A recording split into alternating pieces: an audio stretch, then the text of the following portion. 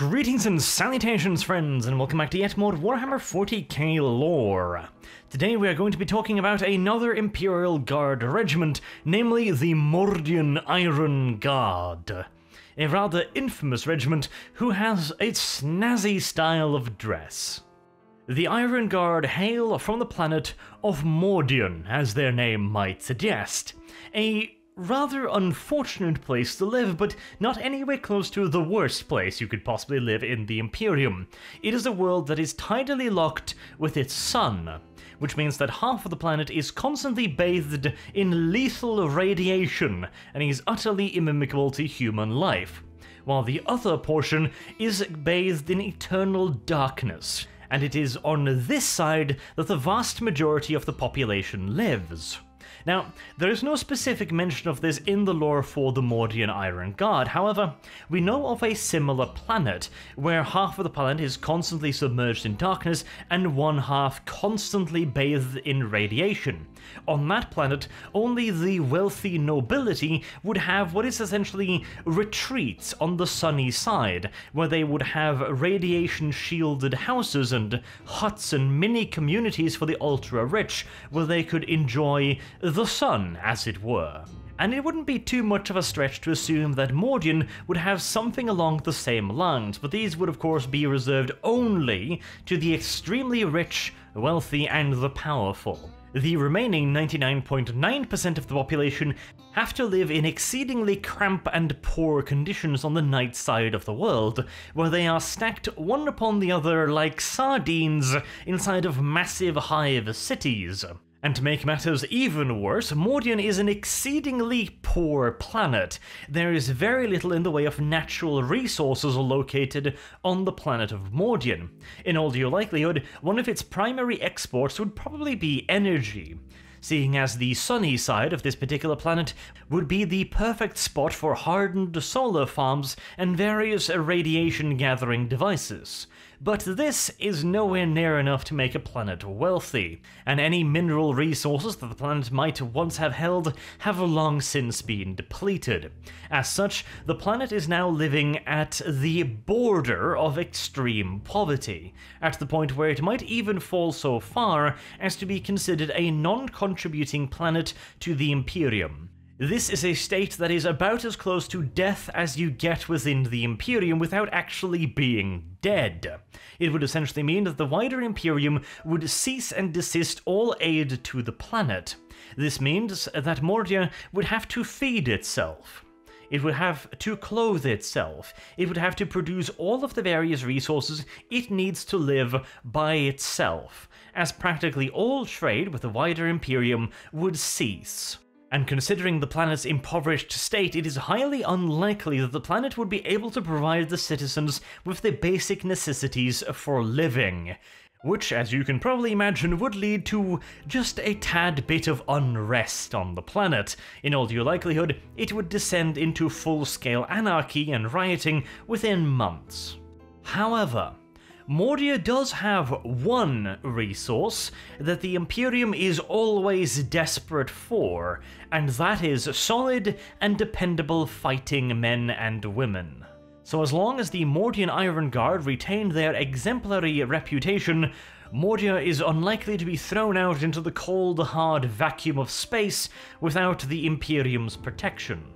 But what is the deal with this Iron Guard anyways? They just kind of look rather foppish, don't they? Dress uniforms on the battlefield? Ha! How silly, will they? And while, yes, that is kinda true, the Iron Guard are slightly different than your average Imperial Guard regiment. And that has mostly to do, again, with their home planet. As previously mentioned, their home planet is somewhat poor. Somalia level poor.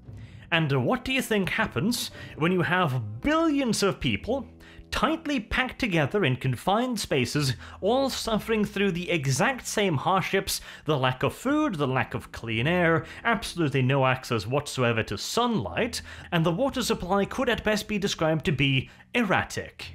And finally, for the cherry on top, the piece de resistance They all have to live in hermetically sealed, void proof shelters on a planet that can barely afford to run the base necessities of life, e.g., a steady supply of food, air, and water.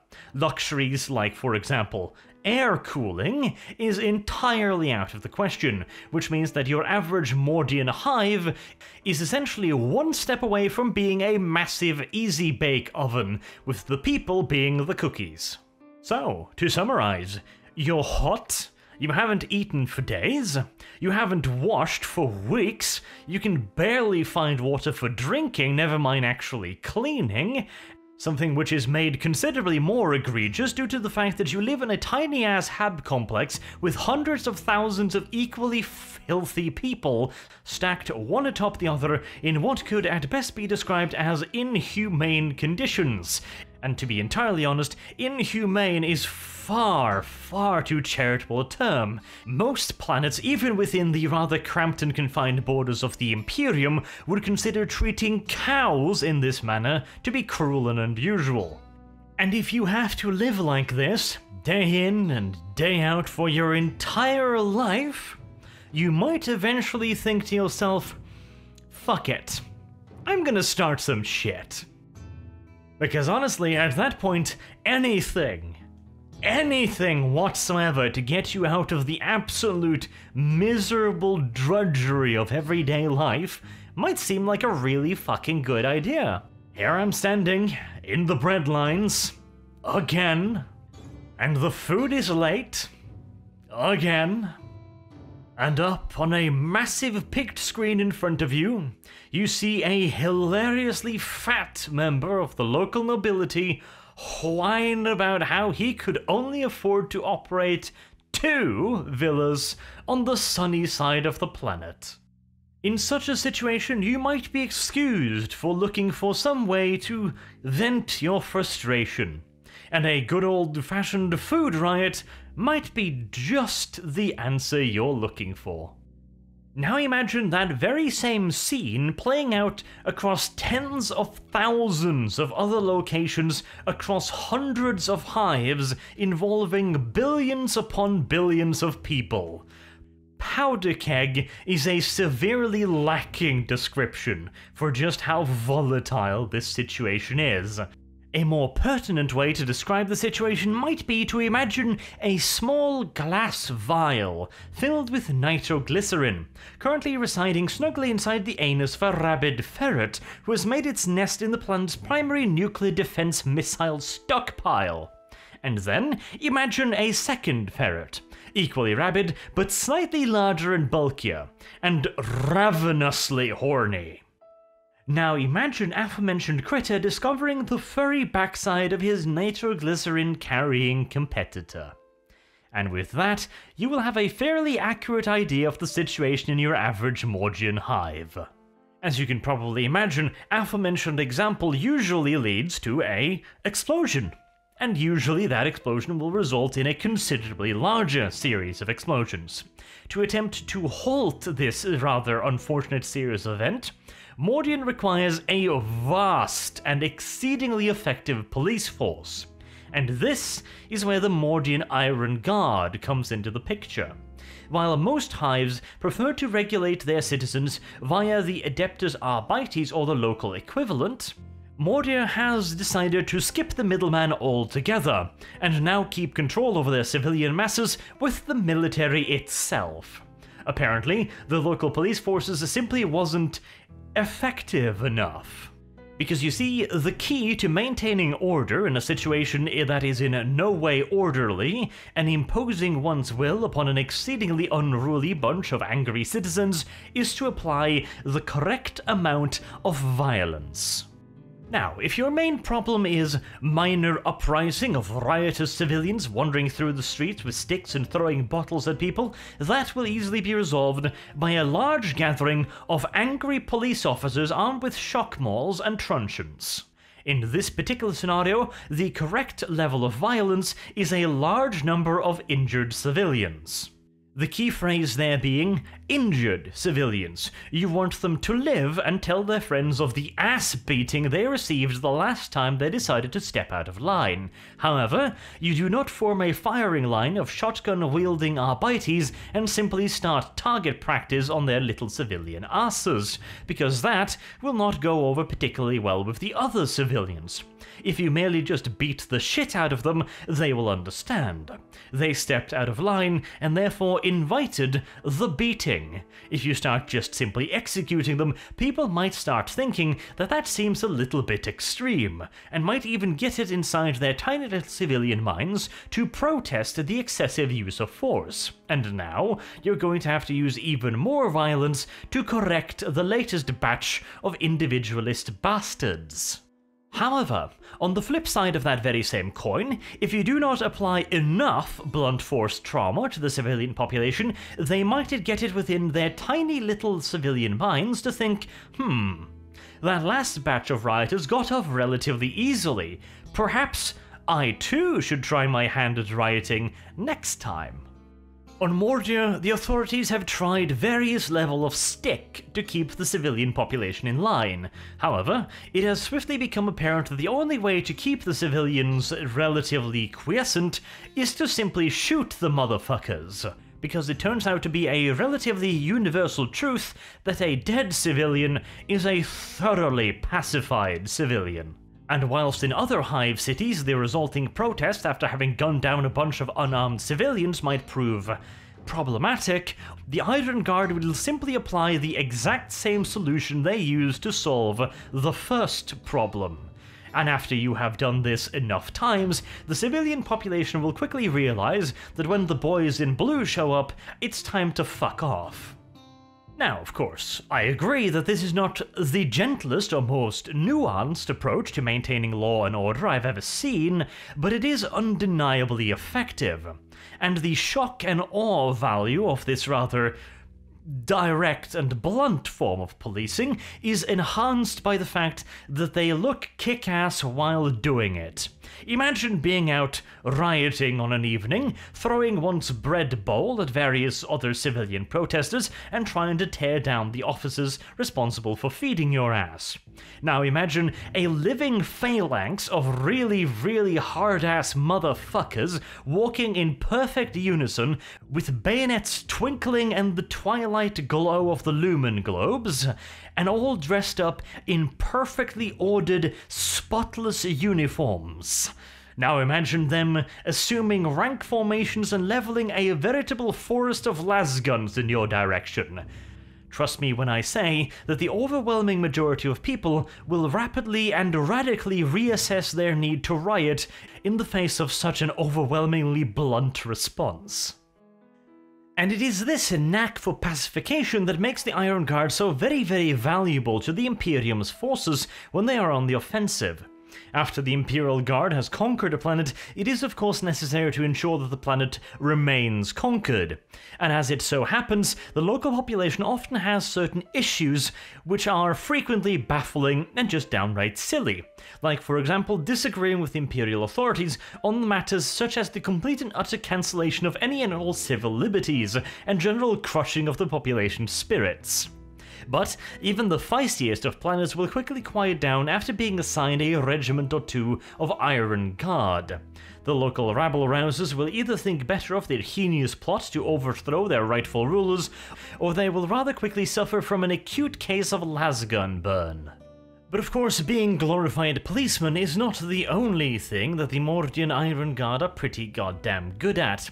Naturally, to create such a police force, you need to drill them quite a bit, and you also need to make sure that they remain loyal. After all, this is a military force that will primarily be cracking down on civilian unrest, it is, of course, of paramount importance to make damn sure that the people sent in to quell the civilians do not themselves join the civilians. Therefore, their loyalty must be secured in no uncertain measures. Now, the ruling caste of Mordian is known as the Tetrarchs. They are the ones that control the entirety of the planet in a rather authoritarian manner. They ensure the loyalty of the Mordian Iron Guard by making sure that they get benefits that nobody else's does. In all due likelihood, a Mordian Iron Guardsman will receive considerable benefits that a civilian will not, and in return he becomes the embodiment of the state when it comes to maintaining order, which means undergoing an exceedingly strict regime of military training and discipline. As an example of one of the perks they are likely to receive, obviously you would not want your Iron Guardsmen to live down amongst the rabble. First and foremost, they might acquire a taste for the rabble's ideology, which would of course be rather counterproductive. Secondly, you would not want somebody that is known to be an Iron Guardsman to live in a neighborhood of civilians, since in all due likelihood, one or more of those civvies are going to know somebody who got brutalized by said Iron Guardsman's brethren. Thusly, in all due certainty, the Iron Guard will be billeted far higher up the spires, where the living is far easier and more comfortable. In all due likelihood, they will also be allowed to bring their families.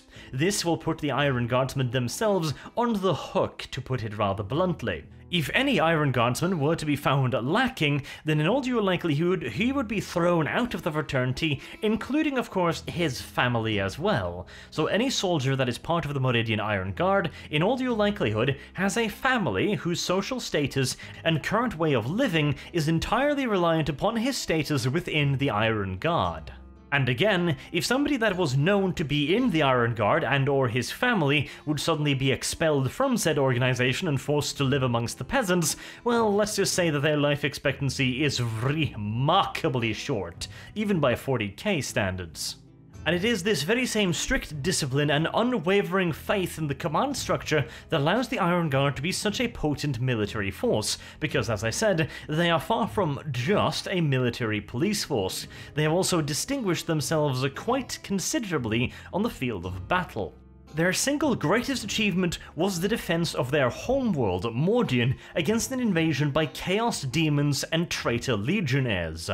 Unbeknownst to the Tetrarch rulers of Mordian, the ever-simmering discontent had grown into something considerably more dangerous. This was not some riot for food or possession clean air, water, and any of the normal amenities that allows a human to stay alive. This was something far more sinister. Deep down in the Underhives, a cult of chaos worshippers had slowly but surely began enacting a ritual, and nobody on Mordia managed to discover that this was in fact what was going on before it was way, way too late. In fact, the first thing that the Tetrarchs knew about the unfolding ritual was when the skies of Mordia burst into flames, as a huge jagged rift in reality tore itself into existence above the planet and began disgorging legions of demons and traitors onto the planet itself. This would in all due likelihood have been the end of most Imperial planets. When something like this happens, generally speaking, you will be seeing mass desertions occurring in the PDF. People will simply be giving up hope, heading to home to defend their families, throwing down their weapons, or even turning to the cause of the great enemy. On Mordia, virtually none of the Iron Guard ever wavered in their dedication to protect their home planet. But of course, dedication alone is not enough. Fortuitously for the Iron Guard, they also had discipline, training, and virtually every single Iron Guardsman was a veteran. Perhaps not necessarily of outright warfare, but he had certainly fought his fair share of battles throughout the Hive cities. Granted, what was descending upon their heads right now was considerably worse than any civilian rabble, but at the very least they had been tried and tested in combat-like situations, which meant that there was a far lesser chance that they would simply turn and run at the first sign of danger. Using this discipline and steadfastness, the Tetrarchs organized the Iron Guard into defensive cells scattered throughout their cities. Due to the rather sudden nature of the attack, no large-scale organized counterattack could be organized. Thusly, the best course of action for the Iron Guard would be to hold up in their fortified barracks and wait for further instructions. And believe you me, when we are talking about barracks, we are talking about virtual fortresses. After all, riots and large-scale civil unrest was not exactly a rare event, and thusly it would be natural for the main gathering points, the barracks and home areas of the Mordian Iron Guard, to be exceedingly heavily fortified, to ensure that no random civilian mob could overrun the main strongpoints of these forces before they could organize into a coherent response. And whilst, of course, these fortifications would have been designed with civilian resistance in mind, they would still no doubt have access to heavily fortified bunkers and automated weapon systems. They might not be ideally suited for resisting a large scale conventional military campaign, but they would undoubtedly be formidable enough to give any attacker pause, allowing the Iron Guard to mobilize and organize themselves, and then eventually attempt a breakout which was exactly what they did. After fully getting to grasp of the situation, the command and control structure of the Mordian Iron Guard decided that holding everything was, in all due essentiality, impossible. Demons, traitor legionaries, and millions of chaos worshippers were quite literally raining down upon the city. They were under attack anywhere and everywhere at once. As such, the only reasonable thing to do would be to coalesce the Iron Guard into areas of strategic importance, and almost invariably, the areas deemed most strategically important were the holdings of the Tetrarchs themselves. And that might at first sound like a somewhat selfish maneuver, and, well, Yes, yes it was, obviously, but again, I remind you, Mordian was an exceedingly unstable planet, and any intelligent noble on such a planet will not be taking any chances with his own security. In all due likelihood, the Tetrarch's palaces would be virtual fortresses in their own right, fully equipped with barracks, fortifications, bunkers, and automated weapon systems. Thusly, it wasn't purely for their own self-defense, although, well, majoritively it probably was, but it also made sense from a military perspective. These areas would almost certainly be the most heavily fortified, and thusly, they would be the areas from which the Iron Guard could offer the most effective resistance. The fact that the overwhelming majority of the planet's population would be left to their own devices, well, collateral damage. And this, of course, would be another benefit of making sure that the friends, families, and loved ones of the Iron Guard would all be billeted in the same areas as the Tetrarchs. They would be falling back to defend their loved ones. The fact that 90% of the population was about to be messily devoured by demons, they probably wouldn't give that much of a shit about. After all, these are troops that have been specifically trained to beat down this very civilian population. In all due likelihood, the overwhelming majority of the Iron Guard would view the civilian population as little more than enemies, as the very same people who are throwing Molotovs at them, shooting at them, throwing bricks at them, and who hate them. They would have absolutely no compunction compunction whatsoever about abandoning them to the ravaging hordes. And especially not if falling back would mean that they would be able to defend their own families. And since the Iron Guard, supremely disciplined as they are, could now occupy defensive positions, they began taking an extremely heavy toll upon the invaders. Every single hab block was turned into a fortress, every single street was turned into a killing zone, and every single palace was now bristling with heavy weapons. Las cannons, auto guns, heavy bolters, and las guns in organized, disciplined ranks firing volley after volley of disciplined las fire into the invaders. And since the Iron Guard do not retreat unless specifically told to do so, every single solitary one of these strongpoints would have to be taken till the last defender every single hab block would have to be stormed room by room in the face of fierce opposition. Every single street would have to be stormed. Every single pillbox would have to be broken into and cleansed. Every single heavy weapons emplacement would have to be destroyed, and every single guardsman would have to be killed. Mordian might be dying, but it was dying about as goddamn slow as it possibly could. Eventually, only the Tetrarch's main palace was left and its garrison of Iron Guard. They had been pushed back to this absolute last bastion that was currently brimming with weaponry. They easily repulsed an assault by traitor legionaries, which is no mean feat in and of itself, but having learned their lessons once, they sent in the cannon fodder next. Millions of practically unarmed Chaos followers were assaulting this one single strongpoint, throwing themselves against it for hours, in an effort to either exhaust the defenders or simply cause them to run out of ammunition. But even this horde attack eventually petered out and failed. However, at this point, the Mordian Iron Guard was severely reduced. They had been pushed out of virtually all of their defensive fortifications and were now fighting on the steps of the palace itself. And smelling blood in the water, the chaotic forces initiated their final assault.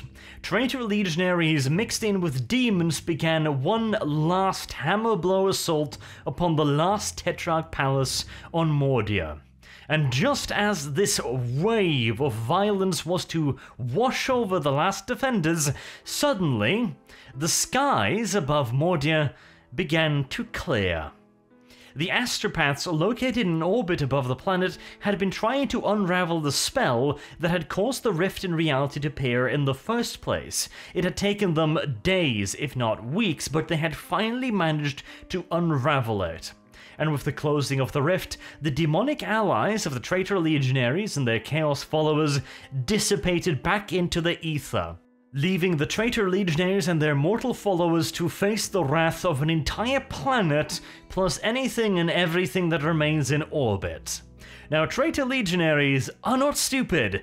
They haven't lived this long fighting battles that they know they can't win, and so they immediately began to withdraw pulling back to any and all void-capable craft that they had taken with them during the early stages of the invasion, or trying to steal anything and everything void-capable from the planet, leaving their mortal followers behind, hopefully, to slow down the pursuit of the Iron Guard. Mordian had done the impossible and resisted a full-scale demon invasion for long enough for the entire thing to collapse in on itself, a feat very, very few planets within the Imperium can boast of having equaled and it was this act that truly launched the Iron Guard into fame and fortune. Imperial commanders not only across the segmentum, but in fact in different segmentums altogether, began clamoring for reinforcements in the form of Iron Guard regiments, as their discipline was quickly recognized to be a rather handy thing to have on the battlefield. It does, however, have a few drawbacks. While the Iron Guard can generally speaking be relied upon to fight until the last man and the last bullet, and hell, the last bayonet, this occasionally has a drawback. The Iron Guard is entirely reliant upon a functional command and control structure. They will not withdraw without orders. They will not assault without orders, which means that if their command and control system gets somehow compromised or indeed intercepted entirely, leaving the regiment without direct access to their superiors, they will simply carry out the last received order until they receive something else, which means that a regiment of Iron And guardsmen will quite happily stand in the way of overwhelming odds without retreating and die in a glorious last stand, when the overall campaign might have been much better served with their retreats. Additionally, while the Iron Guard is more than proficient in fighting in the style of modern armies that are usually employed by the Imperial Guard in a loose skirmish formation where each individual squad will operate individually, again they are entirely reliant upon that command and control system. Individual squad leaders, or indeed platoon leaders, will not act without the direct orders of their superiors. This means that they are extremely inflexible and cannot take rapid decisions in the field. Or, well, they probably could, they simply just won't which means that the Iron Guard is at a severe disadvantage if the combat situation is at all fluid, as they will simply not act upon their own initiative. This means that in more advanced and quote unquote modern combat scenarios, you will be better served by practically any other Guard regiment. However, if you need somebody to hold their ground against insurmountable odds, the Iron Guard are most definitively your regiment and if you need somebody to fight against hordes of enemies, a la Tyranids or Orks, that usually do not employ a great deal of battlefield finesse, again, the Iron Guard will do extremely well. Any situation in which they are allowed to regiment themselves as massive blocks of organized infantry, well within preferably shouting distance of their superiors, they will perform exquisitely. And in all due reality, the true strengths of the Mordian Iron Guard are best shown when they are not fighting as regular infantry. The Mordian Iron Guard, of course, comes in many flavours, as most Imperial Guard regiments do. They can be in the form of an armoured regiment, artillery regiments, super heavy tanks, specialised engineer regiments, heavy infantry, light infantry, although that is fairly rare, since light infantry usually require a certain degree of autonomy, since they are often expected to operate outside the usual command and control structure, and of course, good old fashioned line infantry. But whilst of course they are quite effective as your good old-fashioned line infantry, especially if employed against an enemy that they are allowed to line up in formation and fight against with mass-disciplined volleys of lasgun fire, they work even better when it comes to operating heavy weaponry. Think about it. These troops are drilled and disciplined to a degree where a soldier will continue to carry out his given task until he literally collapses from exhaustion. This means that they are perfectly suited for heavy defensive regiments that need to operate heavy weapons, like artillery batteries. They are capable of maintaining a rate of fire that very, very few regiments can match, and they can do so for days on end. Same for heavy armoured companies. They can continue to carry out their duties in a tank crew, for example, almost beyond the limits of human endurance. The same also goes for super heavy regiments where the supremely disciplined and enduring crew can continue to operate the various systems on a Baneblade, for example, at peak efficiency for far longer than most regiments, allowing super heavy vehicles to truly live up to their full potential without necessarily worrying about the constraints of their oh so fleshy crew members. And of course, their particular brand of discipline and dogged determination means that they are perfectly suited for the role of heavy shock troopers. Simply give them an objective and they will happily walk straight into heavy machine gun fire without batting an eye until either the machine gun is destroyed or they are. Additionally, these non-line infantry roles has one considerable benefit. It allows the Mordians to be placed away from other Imperial Guard regiments. The average Iron Guardsman has a stick so far up his ass that he rivals your average Imperial fist. And he values discipline and self-sacrifice above everything else. In other words, they are completely and utterly insufferable moral busybodies that are entirely convinced of their own superiority compared to any other Imperial Guard regiment in existence. Hell, they will barely and grudgingly admit that maybe the Adeptus Astartes could rival them when it comes to discipline and purity of purpose. This, unsurprisingly, tends to grate on the nerves of anyone placed nearby. In fact, I would absolutely love to see the situation that would occur if you put an Iron Guard regiment next to a regiment of Maccabian Janissaries. Both sides would be trying to beat the other one above the head with their chosen brand of morality. The Iron Guardsmen would be trying to instill within the Maccabian Janissaries the benefits of a strict moral disciplinary system, while the Maccabian Janissaries would be trying to beat the Iron Guardsmen over the head with the Book of Emperor bothering until they finally submitted that the God Emperor was correct in absolutely everything and that they should pray more often. Personally, I would imagine that at the very least small arms fire would be exchanged between the two forces within minutes of them talking to each other. And finally, let's go over their equipment. Your average Mordian Iron Guardsman is slightly better equipped than your average Imperial Guardsman, due to the fact that they are an elite force. They need to be. Their planet's resources are focused in the Iron Guardsmen, and they are their first and last defense both against their own population and any nasty skulking little threats that might exist outside of their own gravity well. The first and best example of this increased standard of equipment is the triplex pattern lasgun, the standard issue weapon of the Mordian Iron Guardsman. This is a considerably more advanced weapon than your average Imperial lasgun, and comes with three firing modes. Single, triple burst, and fully automatic, along with a special energy setting. The normal Imperial lasgun comes with three settings, light, medium, and fuck that thing in particular. The triplex pattern, however, goes one step further, with the fuck that thing over there specifically right in the ass, which is a overcharge setting which essentially turns the lasgun into a mini version of the Imperial Long Las firing specialized hotshot ammunition. This means that instead of simply leaving embarrassing scorch mark on your average traitor space marine, it might actually penetrate his armor. Granted, you'd still best aim for weak spots, but again, you've actually got a chance of penetrating Astartes' power armor.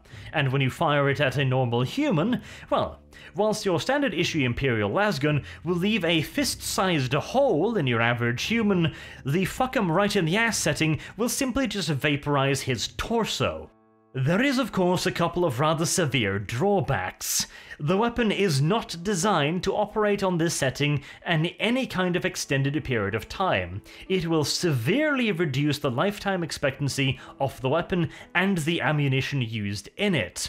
Worst case scenario, both the power pack and the weapon will be rendered inoperable, and worst worst case scenario, the power pack might simply just explode. It is, in other words, the kind of oh shit button that you would not give to anyone that did not have the discipline of the Mordian Iron Guard. After all, they can be trusted to only use the fuck 'em in the ass setting when it is absolutely necessary. And in all due likelihood, even when it is absolutely necessary, they're gonna have to be ordered to do so. But of course, even the finest weapon in the galaxy is of little use without some actual ammunition the Mordian Iron Guardsman carries two charge packs, and unlike most veteran soldiers, he is likely to carry just two charge packs, unless specifically ordered to bring more. In the unlikely scenario that the Iron Guard officers have misjudged the amount of ammunition they require, each guardsman is also equipped with a Mordian pattern combat knife. This is less of a knife and more of a sword. In fact, it would probably be correct to refer to it as a sword bayonet. This means that it is a fair bit larger than your average knife, and thusly can be used both for slashing and stabbing in close quarters combat. And speaking of good old fashioned CQC, the Iron Guardsman is also enhanced with a surgically implanted injector system with 5 doses of combat stims. These will allow the Iron Guardsman to continue fighting despite injury and exhaustion for a considerable amount of time. Of course, utilizing all 5 charges is going to have a rather severe effect on his system when he finally gets off the stim high, and he's going to be feeling one fuck of a hangover, but at least, in all due likelihood, he will still be alive to feel said hangover. And finally, on the weapon front, the Iron Guardsmen are not usually equipped with grenades. They may be issued grenades by a superior officer, however, normally they do not carry krak nor frag grenades of any sort. And the reason, of course, is that that kind of weapon usually requires some kind of personal initiative on when you're supposed to be throwing your explosive device. And the Mordian Iron Guard view personal initiative kinda like the bubonic plague, with hatred, disdain, and not a small amount of disgust. When it comes to personal protection in the form of a body armor, the Iron Guard are a little bit unique because, of course, they enter into battle in full dress uniform. However, that does not mean that they are entirely unarmored. In fact, those pretty little dress uniforms are flak vests with the entirety of the uniform consisting of layers of ablative and impact absorbent materials, which provides roughly the same armor protection as your standard issue flak vest which actually means that despite their pretty little looks, the Iron Guardsman is better protected than most Imperial soldiers. And finally, of course, we come to the necessities. A rucksack, poor weather gear, anointed maintenance toolkit, mess kit and water canteen, two weeks of rations, a blanket, a sleeping bag, a rechargeable lamp pack, a grooming kit, very, very important as far as the Iron Guard are concerned, dog tags, a copy of the Imperial Infantryman's uplifting toilet paper, and of course a dress uniform cleaning kit. Because, well, duh. After all, the minor inconvenience that you find yourself in a life or death struggle against the enemies of humanity is no excuse to not keep your uniform properly pressed and cleaned. And that, ladies and gentlemen, is the Mordian Iron Guard. I have been Arch. Thank you very much for watching, and I hope to see you all again soon. Have a good day.